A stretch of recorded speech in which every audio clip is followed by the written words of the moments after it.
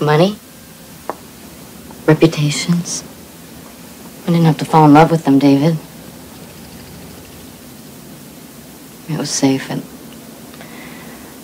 at least I thought it was. David, I know too much. One of them killed Kyle and Patrice. I could be next. I think you should I know too much. I know you love me. Don't do this. Don't do this. Mm.